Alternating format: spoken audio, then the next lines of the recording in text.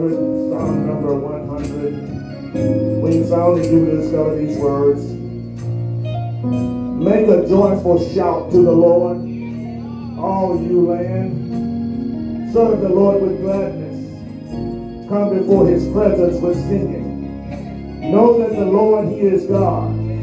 It is he who have made us, and not we ourselves. We are his people and the sheep of his pasture. Enter into his gates with thanksgiving, and into his courts with praise. Be thankful to him, and bless his name. For the Lord is good. His mercy is everlasting, and his truth endures to all generations. Father God, we thank you. God, we praise you, we honor you. God, we magnify you, we lift you. God, we thank you for just being who you are. We thank you for the way you do things. We thank you for your presence in this place. God, we thank you, Lord, for you are God. You're the conquering King of Calvary. We thank you, Lord, that you are the King of kings. You are the Lord of lords. Father God, we praise you today. We honor you today. We glorify you. We magnify you, Father, for you are God. Lord, we come, Father God, asking you to forgive us for our sins. Forgive us for bad imaginations. Forgiving us for, Father God, for yielding to temptation. Lord, we ask you to forgive us, Father God, for sins of omission and commission. Now, Lord, we ask you to bless us in this place. Bless us, Father God, that your word will go forth. Bless us, Lord, that your praises will go forth. Bless us, Lord, that we will pray unto you and you will answer our prayer. And Lord, we thank you for another gathering. We thank you for another chance to honor you. And God, we praise you today. Now, Lord, we ask you that we see Jesus. Out of all who walk in, all who sit, we ask you to bless us to see Jesus. That Jesus will rearrange our, arrange our thought patterns. That Jesus, Father God, will, will bless us in this meeting. That Jesus, Father God, will be first and foremost on our hearts and our minds. And Lord, we ask you to keep us now. Bless our focus to be on Jesus. Bless our attitudes to receive Jesus. Bless us as we sing unto you, Father God. Our hearts will be rearranged and done for you. And Lord, we ask you to keep me low. All the honor and all the praise. Allow us to be beneficiaries of your many blessings. It's in the strong, mighty, powerful, anointed name of Jesus Christ we pray. And we ask it all. Amen. And thank God.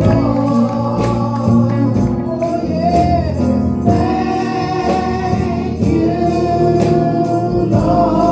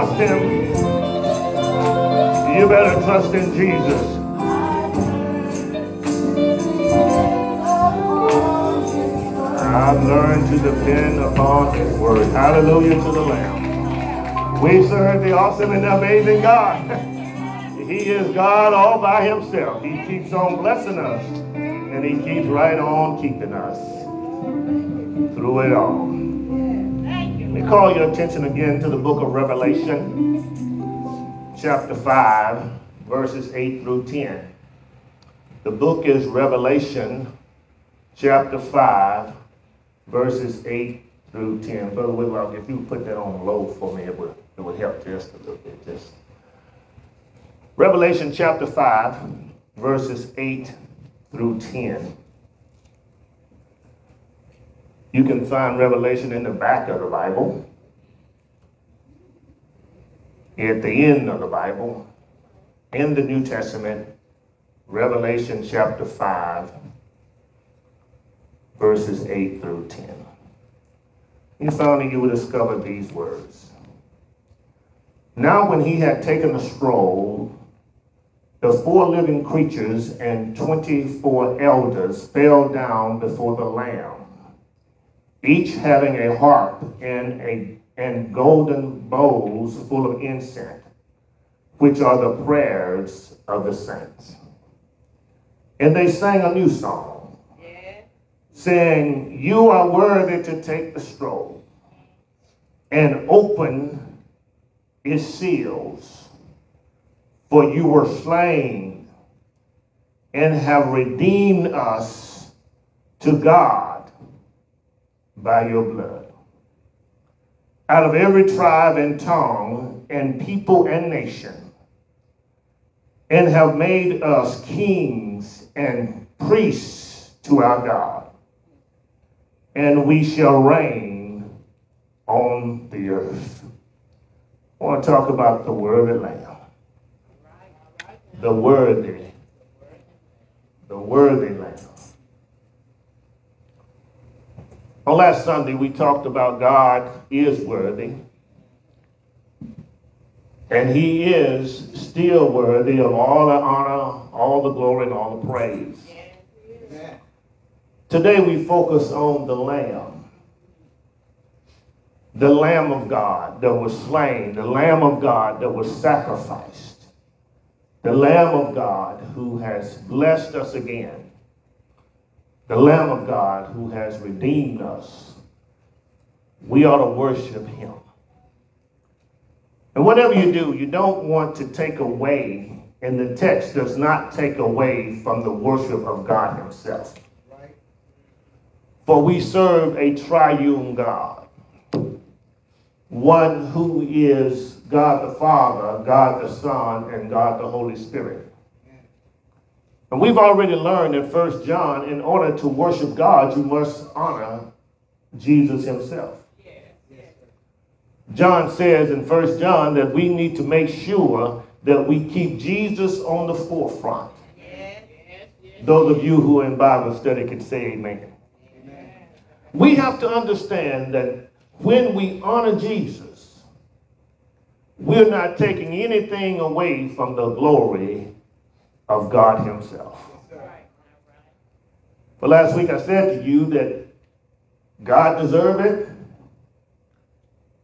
And today we focus on the seals being open. The seals represent torment that God will, will begin to pour out on the earth after the church has been raptured. I said to you last week that John saw in chapter 4 of Revelation, he saw a great multitude of worshipers yes, round the throne of God. He included four beastly creatures. He included 24 elders around the throne of God, and they worshiped him day and night. Said to you last week, this ought to be the position and the posture of our local churches. Amen. Our churches ought to worship God day and night. I said to you on last week, it doesn't matter what you're going through, what you've been through, or what you're headed to. You ought to have an attitude of worshiping God. Somebody said the other day, when praises go up, blessings come down. I want to say to you today, regardless if you choose to praise him or not, God will assign somebody else or something else to praise him. And yeah, we ought to honor him because he is God. Said to you last week that he wasn't elected God. He wasn't selected as God. He wasn't voted in as God. He wasn't legislated as God. He just is God. He is God all by himself. There's no one who compares to him. There's no one who can compete with him. There's no one who really can measure up in contrast to him. He is God. That's why we come today and, and let you know that we are here to worship the Lamb. For the last 17 and a half years, you've heard me say, Blessed to the Lamb. Every message before, every message after, you've heard me say, Bless the Lamb of God. Today, I want to deal with why we bless him. I want to deal with why we honor him. I want to deal with why we glorify him, for he is the Lamb of God. When we look at the text, beginning at verse number one, we will find out that God is sitting on the throne. And as God is sitting on the throne, God is holding in his right hand a scroll, which is, in the English language, a book. As God sits on the throne, God is looking to forecast what's going to happen in the near future. I'm sure your grandparents said to you, the world is coming to an end. I'm sure your parents said to you, the world is coming to an end. And I'm sure you're telling your children and your grandchildren, get ready because the world is coming to an end. Yes, the world is coming to an end, but if you're saved, and Brother Whitlock dealt with it during the Sunday school lesson, you need to understand that you don't have to go through all these things if you're born again.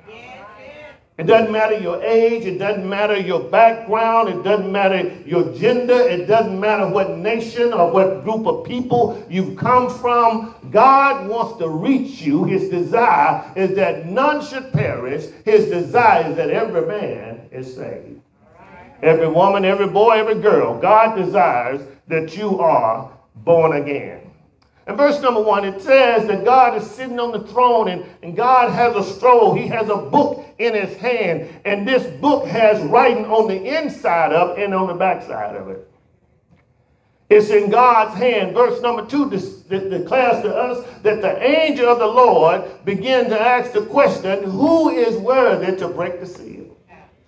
You see, the seals represent, the first seven seals represent the, the first, uh, the first uh, torment that God would pour out on this earth. So the seal has to be broken in order for somebody to read. The angel asks the question, who is worthy to open or to break the seals? The angel began to look to and fro throughout the earth, throughout heaven, and there was none worthy to open the seal. No one in heaven, no one on earth, no one under the earth was able to break the seal. Verse number four declares that the angel began to weep because he couldn't find anybody worthy. No, no, the future was at stake. The future of that God was going to speak to man was at stake because there was no one worthy to open the seal. Therefore, the angel began to weep. Let me just share with you today, we have great futures ahead of us, and we need to make sure that we are in line to receive what God has before us. The angel began to weep because no one was worthy to open the seal. Then the elder stands up in verse number five. And the elder says, Stop your weeping, stop your crying. Here he is, the lion of Judah, the, the lion of Judah, the root of David. Yeah, he is the lion of Judah. He is the one that stands with power. He is the one who has conquered. He is the one who has overcome. His name is Jesus. We worship him today because he has been triumphed. He has been triumphant as he triumphed over the devil, hell, and the grave. Let me tell you, that's right there enough to shout about in the fact that Jesus the Christ has been triumphant. Jesus the Christ has been over, has overcome. Jesus the Christ has overcome and been triumphant over, first of all, your temptation. He, he has been triumphant over your temptation. Then he's triumphed over sin. Yeah, he, regardless of what the devil did, regardless of what the devil threw at him, he did not sin. He did not yield to temptation. And you ought to be singing this song every day of your life. Yield not to temptation, for yielding is sin. It says, Jesus, the lion of Judah, he is the great defeater of temptation. He defeated sin and he defeated pain. Not only did he defeat pain, he defeated suffering. He took suffering like a champ. He has defeated pain. He's defeated sin. He's defeated temptation. He's defeated suffering. And he has defeated fear. He has defeated fear. He has defeated fear. Paul says to Timothy, God has not given you a spirit of fear, but a power of love and of a sound mind. Jesus has been triumphant over fear. Not, have, not only has he been triumphant over fear, he's been triumphant over death. He is the first fruit from the dead. He is the only one that got up from the dead and still lives today. He is the first fruit from the dead. He showed man a preview of what we will have when Jesus cracked the sky. He has triumphed over death and not only has he triumphed over death, he has triumphed over the devil. The devil, the devil claims that he's mighty. The devil claims that he's like a roaring lion running throughout this world trying to find somebody that he can divide. He wants you to feel like he got it going on. He wants you to think that he is mighty. He may be mighty, but he's not almighty. He, he has been pushed aside. God promised in the garden that the woman's seed will bruise the head of the snake. And, and then uh, he, he promised that, that, the, that the snake will bruise the heel of man. Let me tell you, I'd much rather have my heel bruised than my head crushed. Jesus has triumphed over the devil. He is the lion of Judah. Then he says he's the root of David. He's in the lineage of David, where God has promised that he will always have a king in the lineage of David. Let me just share with you Jesus Christ himself will always be the King of Kings. There is none like him. There is none who compares to him. There is none who can measure up to him. He is the King of Kings. He is the root of David. Verse number seven says to us, Jesus take the book from God's right hand. And when he takes the book from God's right hand and we move to verse number eight, we will find out that there's always a response. Whenever Jesus is on the scene, you ought to respond to him. Whenever God passes through and reveals himself, and whenever he manifests himself, you ought not be able to hold yourself. Because he is the great I am. He is God all by himself. Whenever Jesus makes a move, you ought to make a move just like that. When Jesus takes the book, the four beastly creatures and the 24 elders fall down before him.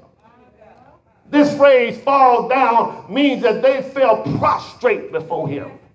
They laid completely out before him. There was no negotiation, there was no interruption, and there was no misunderstanding. They wanted the world to know, and that's why John writes these, these books to us this morning to remind us that there ought not be any negotiation on whether or not you're going to honor God or honor the devil. Antichrist is running. Sister Henry says name start with a T. The Antichrist is alive and well in the midst of us. So it doesn't matter how holy we are. It doesn't matter how sanctimonious we can become. The Antichrist is on his job. He is moving throughout this world. The Antichrist is on his job. He is busy while you're asleep.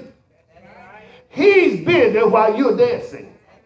He's busy while you're eating. He's busy while you're in school. He's busy. The devil is always busy. He's always on his job. And because the devil is always on his job, we ought to get on our job.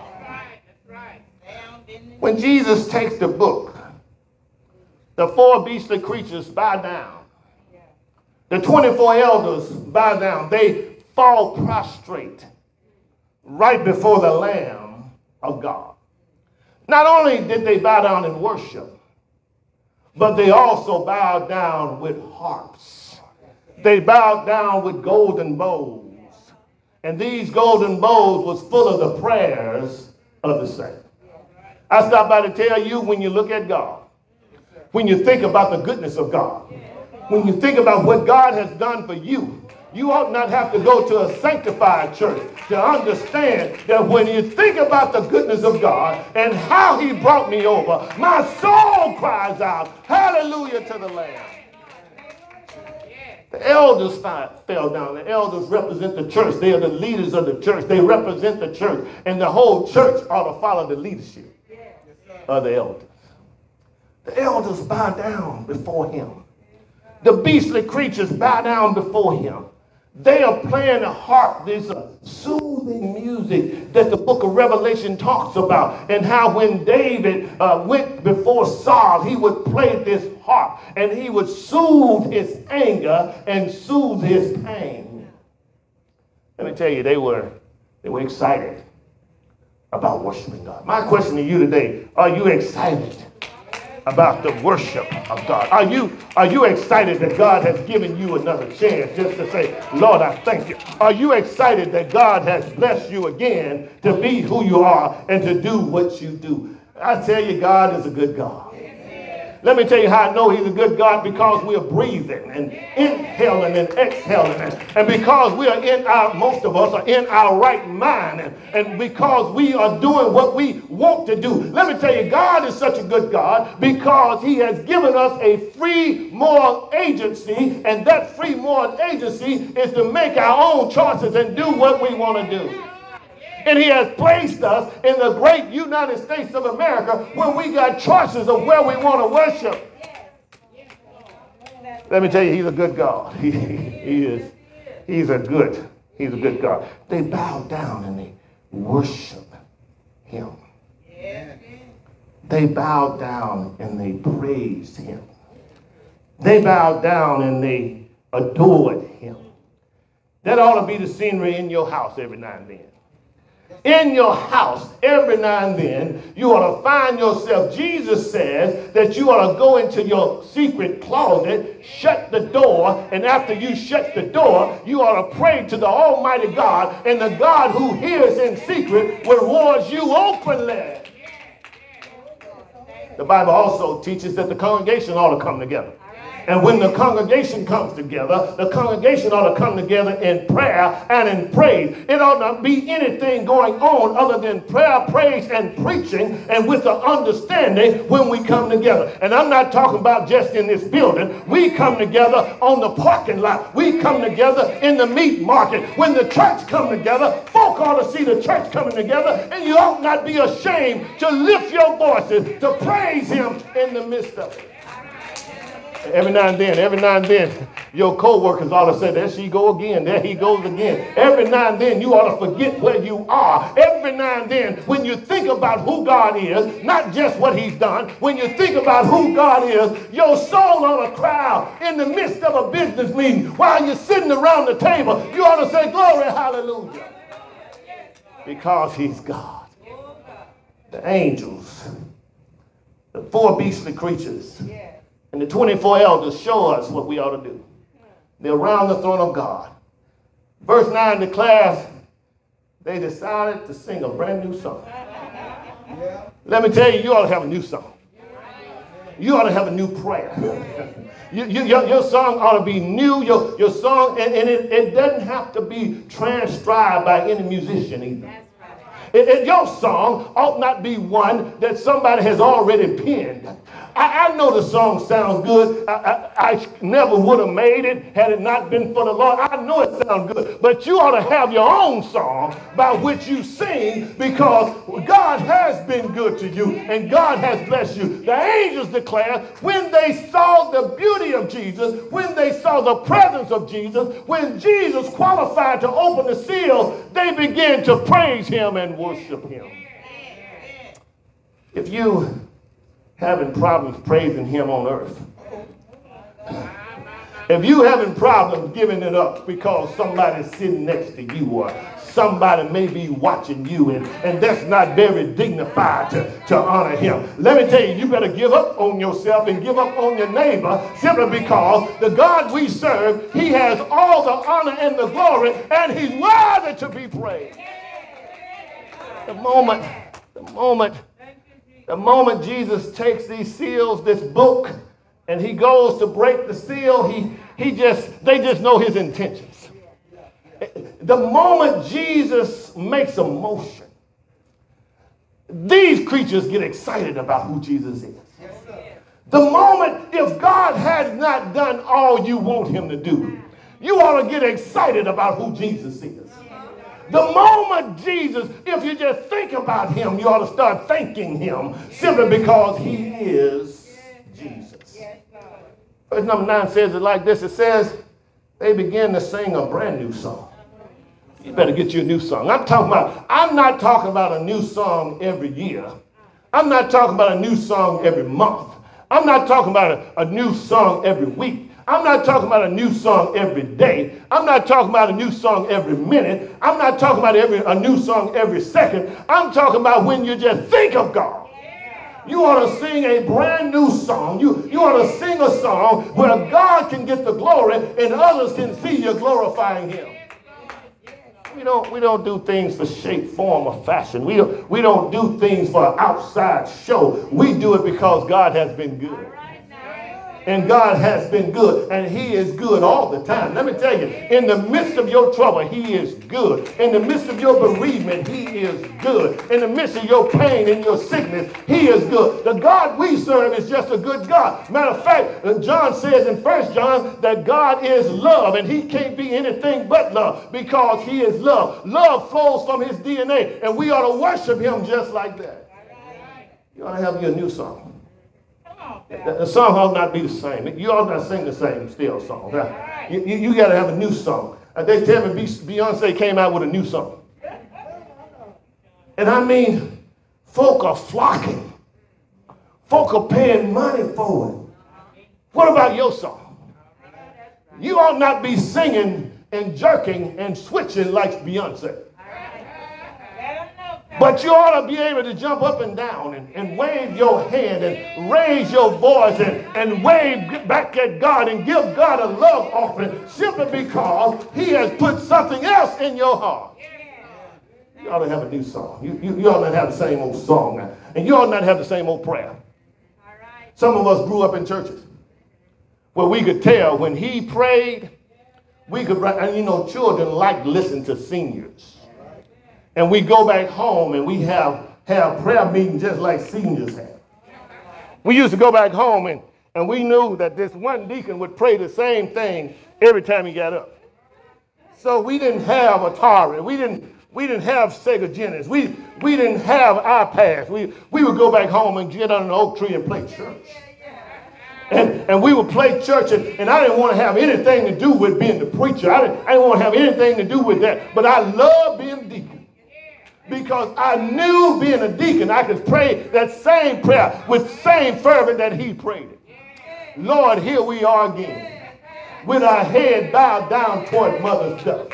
Lord, is me, oh Lord standing in the need of prayer. Lord is not my mother. Lord is not my father. Lord is not my sister. Lord is not my brother. It's me, oh Lord, standing in the need of prayer. Here I am once again, Father God. I come not for any shape, form, or fashion. I come not for any outside show, but it's me, oh Lord, standing in the need of prayer. And when he gets through, the others will begin to sing, if I don't wake up in the morning everything will be all right. We would go back home and we would play it out just like they did it every Sunday. I'm telling you, you need a new song. You, you, need a new prayer. You, you, need a, you need something fresh. Jesus says that you ought not be repetitious. You, you ought not pray out in front of folk just to be seen. He didn't say don't pray in front of people. He said don't pray in front of people so you can be seen. You ought not worship because of people, and you ought not refrain from worshiping because of people. That's right. That's right. I believe church ought to catch on fire. Yeah, I believe that church ought to catch on fire in such a way that every Sunday, every Wednesday, we got a praise going on. Let me tell you, in Chronicles, the Bible declares that when they came into the church, the choir song. And they begin to praise on the instrument until smoke filled the room. Until when the preacher stood up to preach, he couldn't preach until the cloud lowered down because God's presence was in the room. I'm telling you, you ought to sing a new song. You ought to praise the same God and worship him in such a way that you ought to take this thing to another level. We, we ought not, people ought not, the children ought not be able to predict what you're going to do. They ought, we ought not be able to go home and play church the same way every Sunday. Next Sunday, we ought to be able to do church on a different level. We, we ought to be able to worship him like the angels in heaven. Let me tell you, they paint a beautiful picture of what worshiping God is all about. The Bible says that they sung a new song. And their song went like this You are worthy to take the scroll and open the seal. Let me tell you, there were angels there, there were creatures there, there were elders there. There was none in heaven, none on earth, none under the earth that was worthy. There's only one, one, there's only one who is worthy, and he is the Lamb of God. His name is Jesus. He is worthy. Worthy is the Lamb. He is worthy to worship. Let me tell you, Muhammad may not be worthy, but Jesus is worthy. Confucius is not worthy, but Jesus is worthy. Aristotle is not worthy, but Jesus is worthy. And that's why we show up on Sunday, Wednesday, and throughout the week to say, Lord, you're worthy. Lord, you're worthy. Lord, we worship you. God, we honor you. God, we praise you. Lord, we magnify you, for you are worthy. There's none like him. Oh he's worthy. He says, he said, you are worthy to take the scroll. You are worthy to open the seal. Then they give the reason why he's worthy. He says, for you were slain and redeemed us to God by your blood. He says, no one else was worthy. Matter of fact, the angels wasn't worthy. But God, you made sure that your son Jesus, the only begotten Son of God, he alone is worthy. Let me tell you, if you're going to worship, if, if you're worshiping anything or anybody else, you might as well stop play acting. Stop role playing because he alone is worthy. And let me just share with you, rolling on the floor doesn't demonstrate that you're worshiping him. Speaking in other tongues don't, doesn't demonstrate that you're worshiping him. I'm talking about worshiping him from the inside out, where, where folk can see the joy and, and God can feel the connection back and forth between him and you. He says, You are worthy to take the scroll and open the seal, for you have been slain. He was slain. He was slain. Let me tell you, it wasn't a pretty picture that we see on YouTube. It wasn't a pretty picture we see on Lifetime. It, wasn't a pretty sight we see on TV or the internet. He was slain. He was beat down. Plugs of meat and, and vessels were pulled from his back. They whipped him for you and for me. Let me just stop and tell you now, you need to understand the scripture that says to us, by his stripes we are healed. It's not by his stripes that you are healed physically. It's because of the stripes that he, they beat him with. You are spiritually healed. You are healed spiritually because of the stripes that were beat by our Lord. They beat him. They whipped him. They marred him.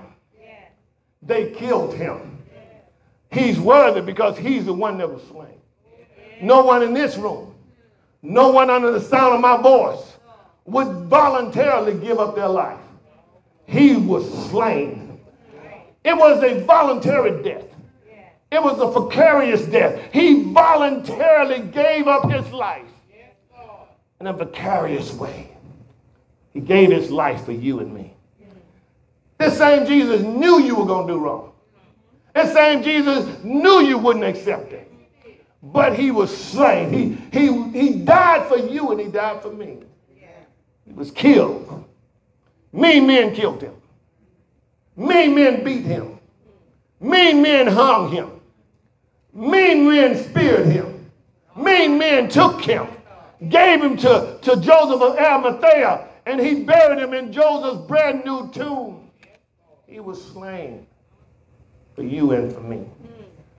So let me tell you, if you wasn't slain, then I need to answer to Jesus and not to you. If you wasn't slain, if you didn't give up the ghost of voluntary death, then I need to answer to Jesus. You need to be answering to Jesus. You need to answer to the one who was slain, who died for you, who gave his life for you, who was slain for you, so much so until you are now saved.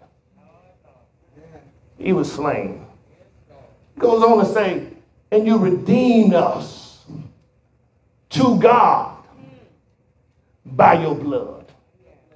This word redeem means to buy back.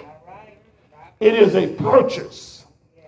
God was dissatisfied until Jesus satisfied him with his blood. He became the sacrifice that made a way out of no way. Regardless of how long you've been saved, let me tell you a secret. You are on your way to hell. But Jesus redeemed you. He bought you back. You know, we growing up, we had what was known as S and H green stamps. And we would put those green stamps in the book. And then we would go in and cash them in. And that's, that was known as redeeming your stamps. In other words, what you were going to buy, you couldn't get them without a book full of stamps. And everything had its own value. And if you didn't have a book of stamps, you couldn't buy things that were worth a book of stamps. Let me tell you, you had a value and it was Jesus' blood that bought you back. God had to bring you back. He brought you back because Jesus' blood bought you back. You, you, couldn't, you couldn't pay your own debt. He paid a debt we couldn't pay. And he did it with his blood. He died. And after he died, they pierced him in his side and outflowed the blood. That's why we sing the song, Nothing Blood to Blood. What can wash away our sin? Nothing but the blood. His blood will never, never lose his power. We sing the song that says, It flows as low as the lowest valley. And it reaches the heights of the highest mountain. His blood, Jesus' blood, will never, will never lose his power. That's enough for me to shout about. He, he redeemed us. He redeemed us with his blood. He, we, we have to be educated in the fact that it wasn't us that got it right. It was Jesus that got it right. You see, we are not saved because we're so good. It's because of what Jesus did for us over 2,000 years ago on a skull hill called Calvary. He bought us back. He redeemed us back to God by way of his blood. And he says, out of every tribe, out of every tongue, every people, and out of every nation. Let me tell you, they were right the other day when they said red, yellow, black, and white. They all are precious and Jesus' sight. That's why we shouldn't have discrimination. Regardless of our background, regardless of our nationality, regardless of our color, we should not have discrimination. We should not have prejudiceness simply because Jesus has redeemed us from every tongue, every tribe, every people, and every nation. You know, that's the reason why we're called New Beginning Church. I know that's right. That's the reason why we're called New Beginning Church, that you can give a new beginning at this church. We're called the New Beginning Church because we want to include everything and everybody. No roaches, no ants. We want to include every living being, every person with a soul. We want everybody to get to know Jesus from the beacon light that shines on the side of 4251 Schurmier Road. We're the new beginning church. We ought to have a new beginning every day. I mean, I mean, you know, if you notice, the name of the church is not New Beginnings. No, it is. It is New Beginning. Because when you have a new beginning, that new beginning is repetitive. That new beginning is perpetual. That new beginning, that's why you don't have to get saved but one time. You get saved one time, and God has blessed you one time, and He's blessed you from now on. Now, you ought to have sanctification every single day of your life. You ought to do what's right. You ought to be set apart. You ought to do the things every single day of your life. But your salvation has come one time, and because it comes one time, you ought to live in it and you ought to abide in it. Because Jesus died one time. And he died for the whole world. He died for the whole nation. He died for every people. He died for every tongue. He died for every nation. Jesus Christ died for everybody. He didn't discriminate. Why should we discriminate? He says out of every tongue, every tribe, every people, every nation, he gave his blood for you. You ought to walk around and let people know I'm blood bought. But they ought to see that you're blood bought. When they ask you, how do you put up with folk that misuse you? I'm blood bought. How do you handle, handle the things you used to do and you don't do them anymore? Don't you get tired of the temptation coming onto you? Tell them I'm dead blood bought. I was bought by the blood of Jesus because when you tell them you blood bought, it's going to open up a whole evangelistic moment for you and you'll be able to tell them because I'm blood bought, I am able to do what I can't do in myself. I'm able to imagine things that I couldn't imagine before because I'm blood bought. I just want to let you know whenever how many of you get tired of the spam calls? How many of you get tired of, of the, the rotary calls? How, how many of you get tired of the sale and soliciting calls? I'm going to tell you how to shut it down. You don't have to tell them to take you off the list. They'll voluntarily tell you, take you off the list. When they start talking about what you're selling, tell them that I've been blood bought. Tell them his name is Jesus. He, he paid the price for me. No, I don't want what you're selling, but I want to show you something that God has done for me. He did it for me before I'm born. I'm blood bought. What you mean you're blood bought? I want to tell you, over 2,000 years ago, Jesus Christ bought me back. He brought me back. He bought me back. He purchased me back. And they'll shut the roll calls down. And they'll tell all their co-workers, don't call him.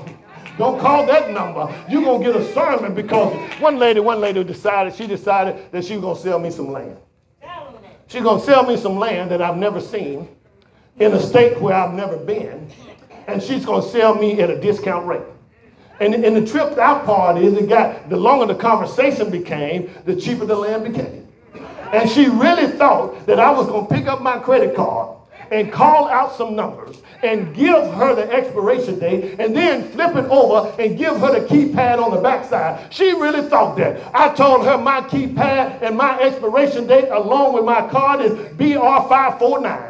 BR5. She, she began to type it in and write it down. I said, BR. She said, what's the rest of the number? I said, do it again. BR549. And she began to write it down. If you're over 50, you understand where I'm headed. Hee haw. At hee haw, they had a phone. And when they had the phone at hee haw, the phone number was BR549. What you have to understand is my phone number is BL00D.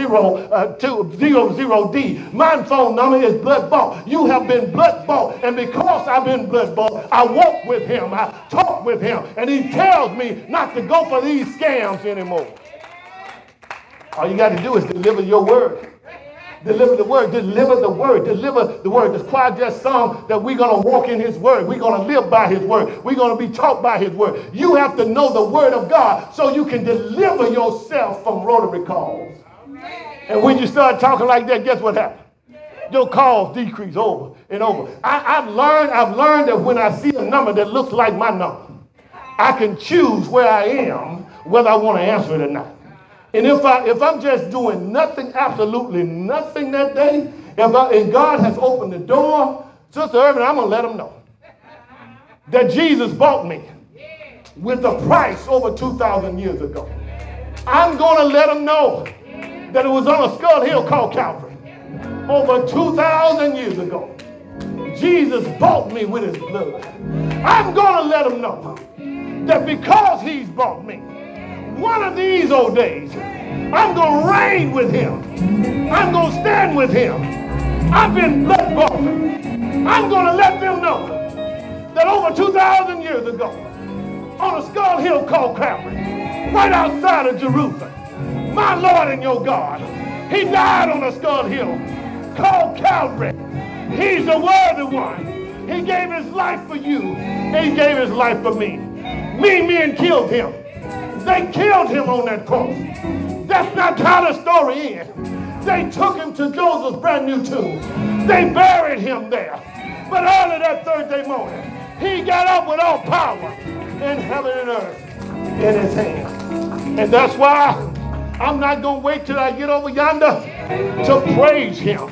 I'm not going to wait till I get over yonder to worship him. I'm not going to wait till I get over yonder to pray to him. I'm going to start right now thanking God for who he is, telling him what he's already done, thanking God for how he used me, thanking God for this beautiful setting that he shows in heaven.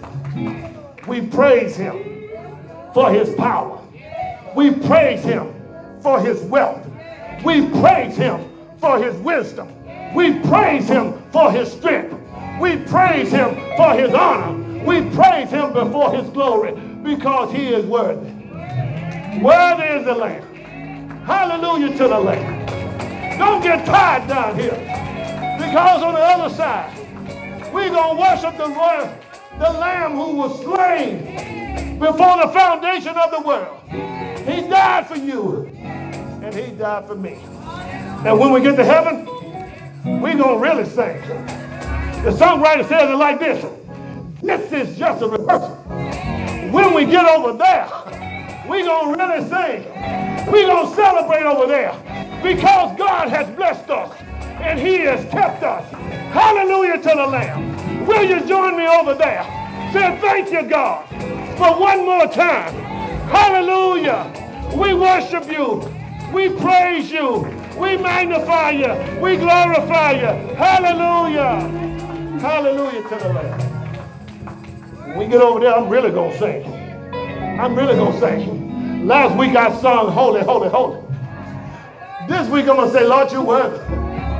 You are worthy, for you have been slain before the foundation of the world. And he's available to us, even right now. The door of the church is open. The door is open. The door The door is open. This is your moment. This is your opportunity. You can get to know him. Just as you are, you can get to know him. His name is Jesus. He is the conquering king of Calvary. His name is Jesus. He's our waymaker. His name is Jesus. He's our bridge over troubled water. His name is Jesus. He's my leaning pole. His name is Jesus. He's the light, bright, and morning star. The door is open. Will you receive this Jesus? The one who makes a way out of no way. You need to receive him today. I hear you, you say, but Pastor, you don't know what I've done. It doesn't matter what you've done. You need to receive Jesus. As you are, he will receive you. But Pastor, I'm too young. You're never too young. You can receive him at your young age. But Pastor, I hadn't lived a life. You can live that life through Jesus. He makes a way out of no way. The door is open. Will you trust him? Let him bless you. He's able to bless you. He's able to keep you. Will you come? The door is open.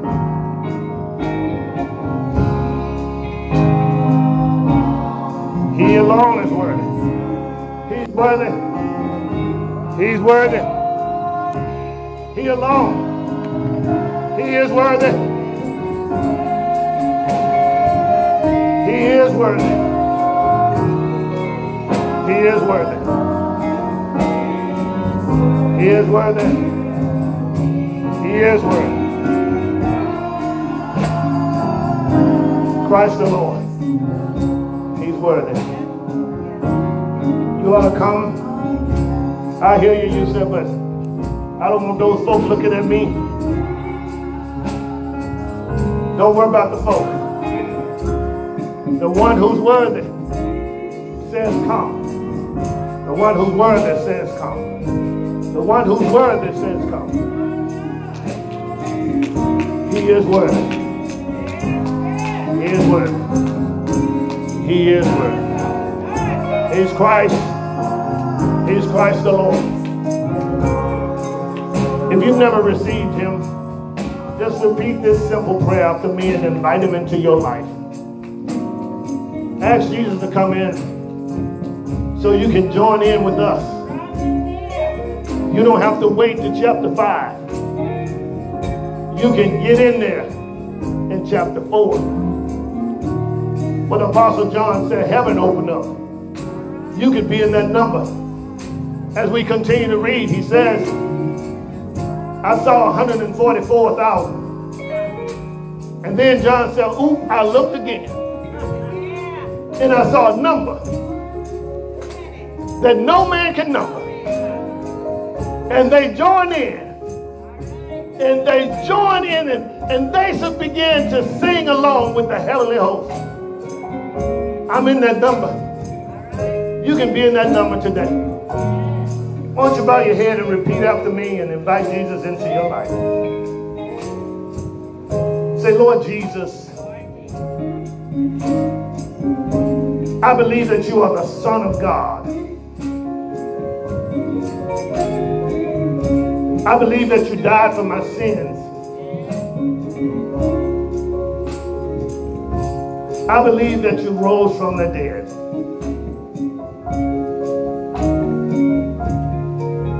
Now come into my life and make me a new person.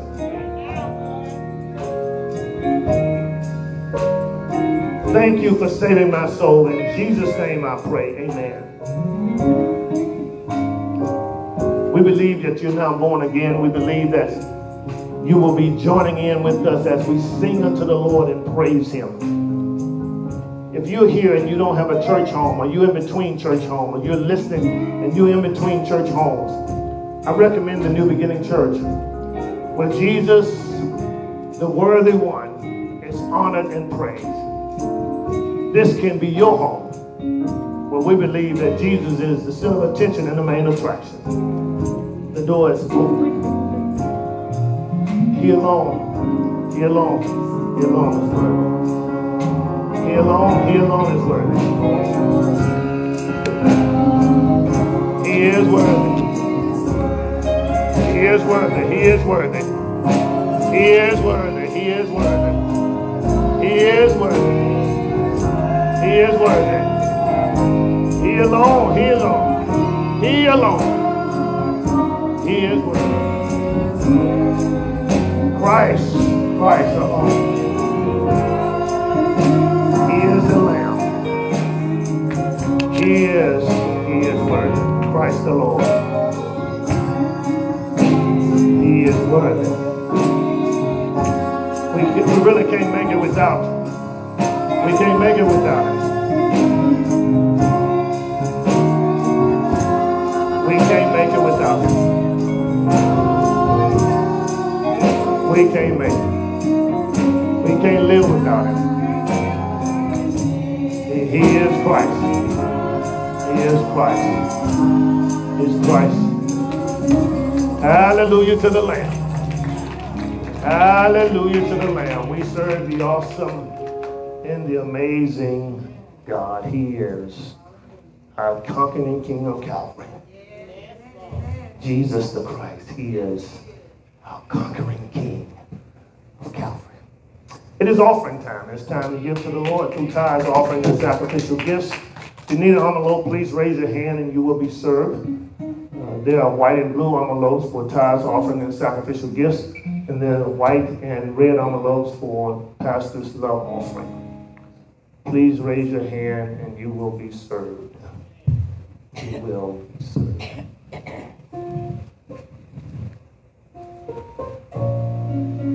For those of you who are, who are giving electronically, you can give by way of Zelle. Our Zelle account is lifting.jesus at yahoo.com. Lifting.jesus at yahoo.com. Zelle is lifting.jesus at yahoo.com. If you want to mail in your gifts, you can do so. Uh, P.O. Box 503, Missouri City, Texas 77459. P.O. Box 503, Missouri City, Texas 77459.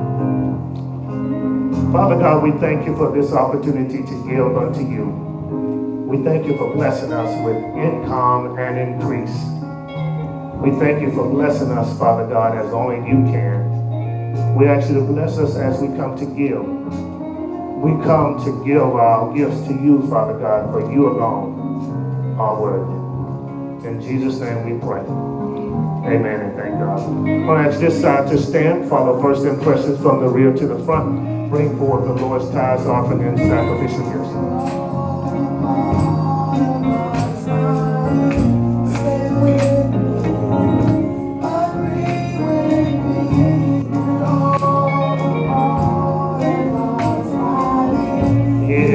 This side to stand. Follow first impressions from the rear to the front. Bring forth the Lord's tithes, offering, and sacrificial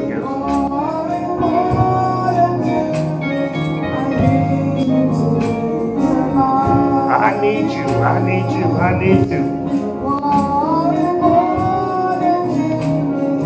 I need you, I need you, I need you. I need you to survive. I'll pray for you. I even love you.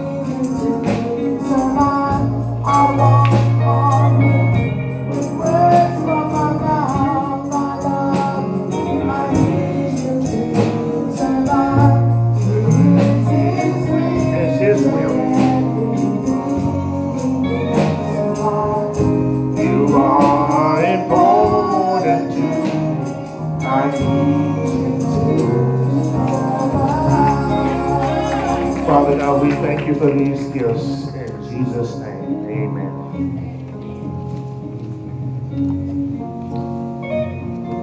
I have a card here, a thank you card. It says, it takes a special kind of person to care enough to take the time for others, to do whatever it takes to help somebody out. Thank you for everything you have done, for everything you have given. Thank you. NBC family from Sister Ann Paul and the Cameron family. Thank you, Sister Paul. As we know, uh, she has, she's in bereavement for her brother. We want to thank her for being faithful and thank her for her thank you card. Amen. Amen. Amen. Amen. We're remembering J.R. Richard, the uh, the towering, tall J.R. Richard. Um, we are having J.R. Richard Day on Saturday, August the 13th, 2022. Uh, uh, Trinity Mendenhall. Let me look this way. All right, laugh now. Sooner or later, it'll be you. Trinity, Trinity Co Community Center. Uh, we are honoring the late, great J.R. Richard uh, Saturday the 13th of August at 3 p.m. through 6 p.m. If you can make it, it'll be good for Sister Richard to see you there and uh, make sure that we come to honor the great man. He no longer sit in the second seat on the first, the first seat on the second row, but he is in heaven with the Lord around the throne of grace. Amen. Crying, holy, holy, holy, you are worthy, oh Lord. So we want to celebrate my friend, our associate minister, J.R. Richard. Thank you so much. On our prayer list, we have Karen and Katrina Whitlock, Nicole Davis and family, Sister Ann Paul, Audrey Johnson, Zaminia Ortiz, Joe Nathan Brownlee, uh, Ed and Emma Brandon, Megan Davis, and Amity Hunter. Let's go to God in prayer. Father God, we thank you. God, we honor you, we praise you.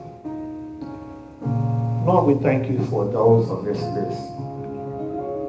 We ask you to bless, heal, and touch. We know you to be the great I am. You're the one who we need. You're the one who blesses us. Now, Lord, we ask you to bless us and bless these. Administer healing to their infirmities.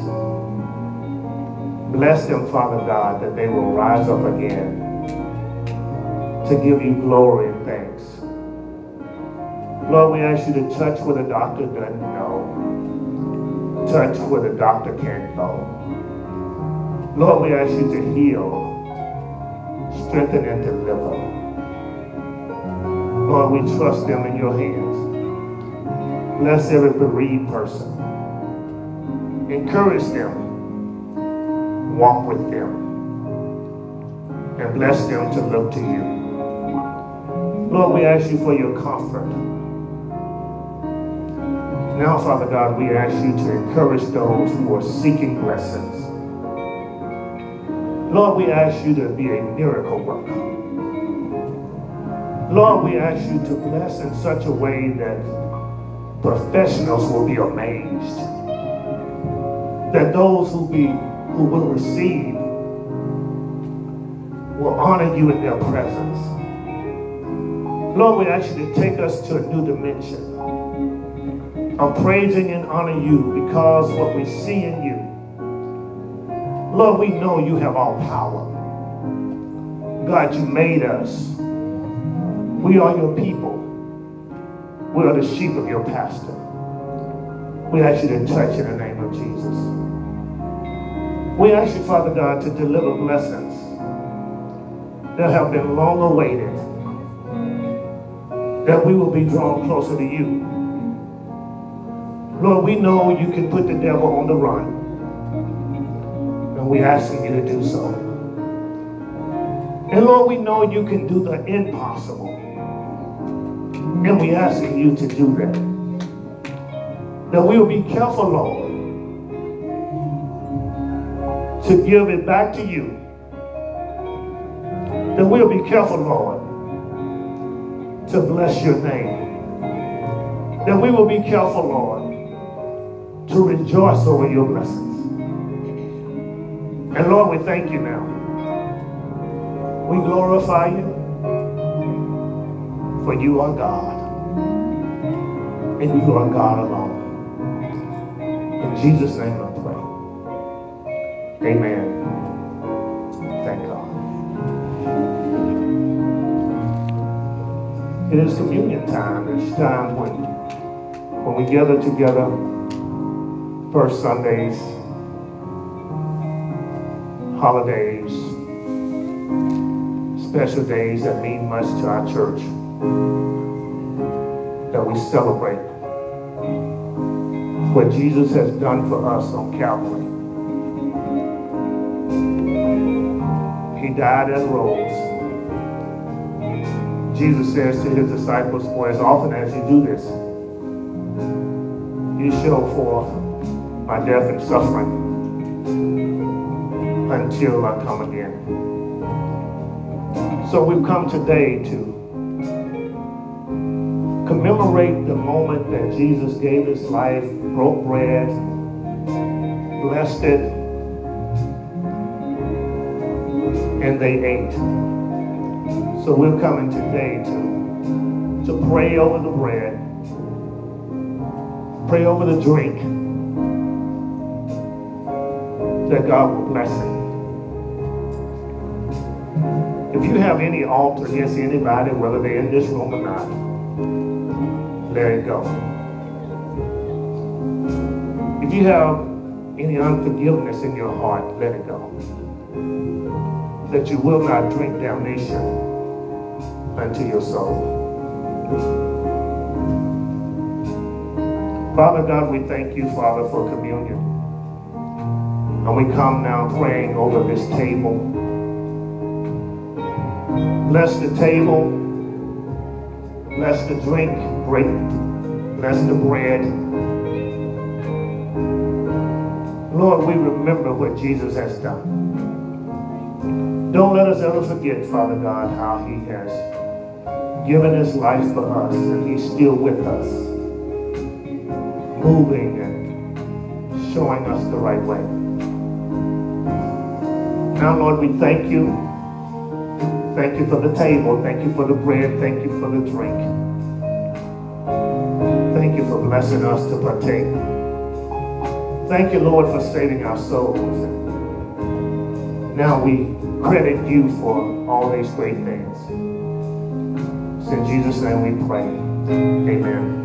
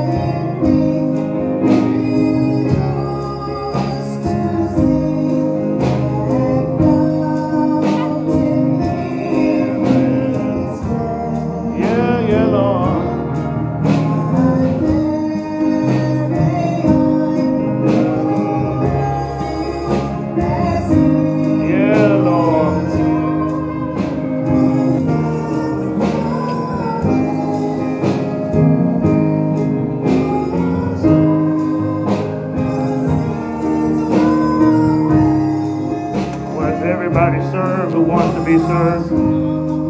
Has everybody been served who wants to be served?